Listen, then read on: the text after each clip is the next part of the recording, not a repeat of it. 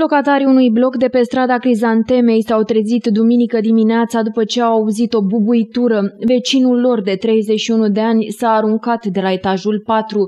Acesta este cunoscut cu afecțiuni psihice, mai exact suferă de schizofrenie. Cunoașteți pe băiatul care s-a aruncat uh, de la etaj? E vecinul. Știți, avea probleme? Da, era bolnav.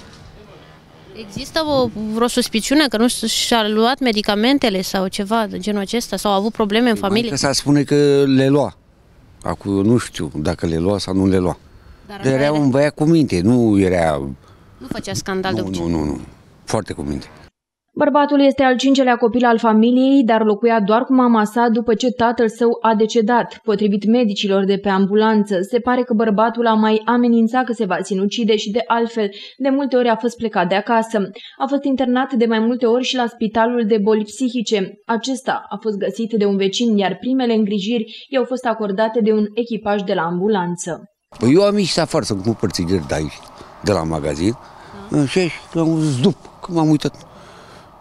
Pa, am venit întins. Medicii au venit repede, ambulanța Au venit și au făcut datorie. și a făcut. În prezent, tânărul este internat la spitalul din Slatina, dar starea lui este una foarte gravă. Șansele de supraviețuire sunt reduse.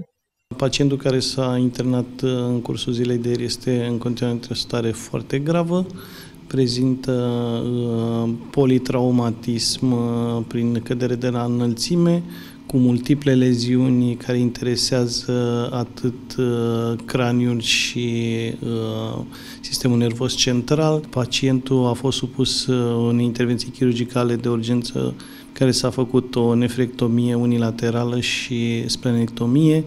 Uh, În continuare, starea lui este deosebit de gravă și prognosticul rămâne rezervat. Polițiștii au deschis o anchetă în acest caz pentru a stabili cu exactitate împrejurările în care a avut loc evenimentul și fac cercetări pentru săvârșirea infracțiunii de vătămare corporală din culpă. Specialiștii spun că această boală se caracterizează prin halucinații, delir, comportament și gândire dezorganizată. Schizofrenia este o boală cronică ce necesită tratament pe toată durata vieții.